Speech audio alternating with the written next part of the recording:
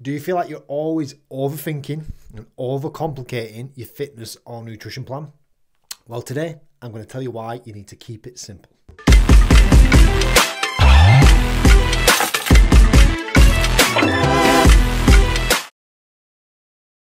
Welcome to today's episode of One Take Your Daily Butt Kicking with myself, Connor Anderton. If you don't already know who I am, I'm an online coach of the last 10 years who specializes in getting regular guys insane physique transformations and getting them incredibly strong in the process.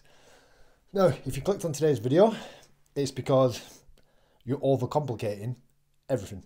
You're overcomplicating your nutrition, you're overcomplicating your training plan, and coming from experience, especially this week, with some clients on some of their weekly check ins I wanted to talk about this, okay, and why you need to keep it simple. So many people want to they want a new training plan, they want a new nutrition plan, they want the next best thing. They want to do fancy exercises, they want to eat fancy foods or whatever it may be. They want to eat the next big fad diet or whatever it is. When in reality, the body works how the body works, and simplicity is key. One thing you cannot deny is true methods that work, results, proven results, and experience of people who have taken a lot of people from A to B. Okay. What I tend to find is the people who do not get from A to B are the ones who are willing to do the fad diets, the ones who want the next best thing, they want the next training plan. Okay, they always want more, they want more, they want more. When the reality is what they need to do is the basics. I get a lot of people that speak to me about this kind of stuff, and I have to always just bring them back to that simplicity. Now, if you've watched other videos on my channel, if you're a subscriber, you know I have a very simplistic approach, yet science backed um, approach to fitness, to coaching, to getting people results, to strength, whatever it might be because it works. Nothing fancy. I'm not trying to sell you the next best thing. What I'm trying to do is educate and teach you that if you stick with the basics, you will get the result that you want. If you get drawn off to a random path, you will not get results. Okay, you might do short term, but definitely not long term. Fitness is very much a long term game, and you need to keep it that way. You need to approach your nutrition and training in a way that you can stick to for years on end. And it's not just a three month thing, it's not a six month thing, it's not even a 12 month thing. It's can you be doing this style of training? Can you be eating in this style with these foods, with this structure, these timings for years on end? That is how you're going to stay in shape. So you're going to get in shape and then stay in shape for the rest of your life. Because we all know many people might get in shape to a certain extent and then completely bottle it, go back to all their old ways because what they were doing in the meantime wasn't sustainable. So your fitness approach should always be about sustainability and what can you just absolutely stick to and what do you enjoy. What I try and tell my clients is that if we give you an approach that you actually enjoy sticking to, you're probably going to get the result. If I give you something that you look at and go, Christ almighty, I'm going to have to change my life for this, are you going to get a result? No. You might have a week or two, but you're just not going to get anywhere.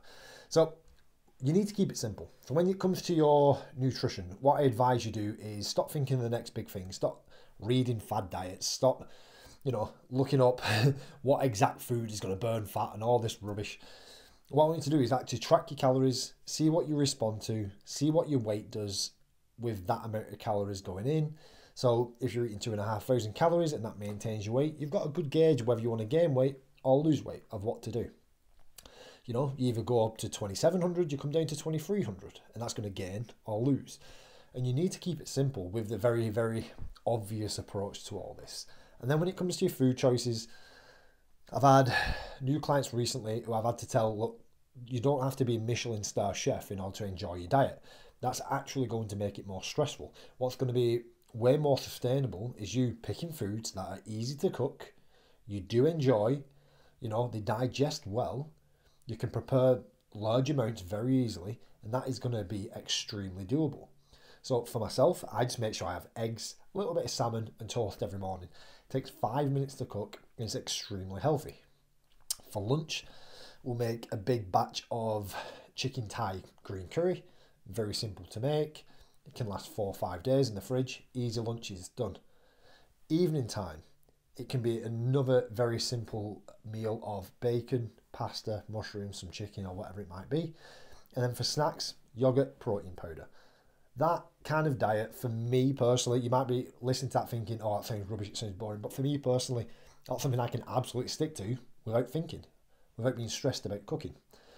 For you, it might be a different approach. It might be oats in the morning with a whey shake. It might just be a whey shake and a piece of fruit on the way to work. Is that sustainable? Cool, do that. Don't think you have to cook this miraculous breakfast in order to be healthy. It's just not the case. So go with simplistic, go with what works. Make it work your schedule, your lifestyle, your taste. Don't go outside of that because it'll stress you out. In life, we already have too many stresses, too many things going on to make nutrition an added stress. Okay, very important. When it comes to your training, I'd say we've got to go with the basics. Okay, if you're training three days a week, I recommend full body rest, full body rest, full body rest, rest, rest, or whatever. Okay. Lots of frequency in there. You can put different emphasis into different days. So you could have a full body day with back emphasis, full body day with chest emphasis, full body day with shoulder emphasis or leg emphasis or whatever it might be. And that's going to work extraordinarily well for people who, you know, aren't IFBB pro bodybuilders. Okay. They're the kind of people who need ultra specificity. Okay, for yourself, you probably don't, including myself. Now, if that doesn't work, you could go into the next best thing, which is going, to be an upper lower split. Upper lower rest, upper lower rest, upper lower rest, and keep following that formula. Again, on the different upper days, changes the emphasis. Have you got a weak chest? Okay, well, maybe start with chest on your first day. If you've got a weak back, maybe start with back. Okay, and keep rotating through different ranges of exercises. Don't repeat the same workout on them upper days. Have a two day rotation on them days.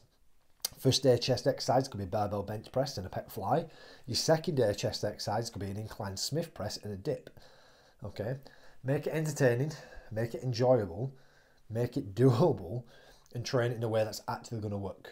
Okay, forget the bro splits, forget training chest on a Monday. You just will not have enough training frequency and stimulating the muscle enough in order to get the best result.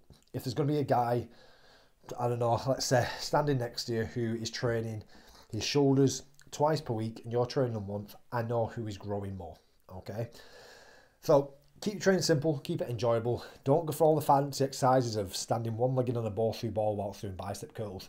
Do some bicep curls and progress them over time. One rep every week. An extra kilo in your hand the week after. That is all it takes. Just be consistent, track your weights, track your reps, maybe track the intensity and make sure you are progressing that way. That's how you're going to get results. Now, guys, keep it simple. That's all this was about for your training nutrition. If you enjoyed this kind of content, where it's just me talking, educating, maybe consider subscribing to the channel because there's going to be a lot of that. I'm going to be branching out into my recovery soon of all the weight training vlogs, so stay tuned for that. But for now, I'll see you in the next episode.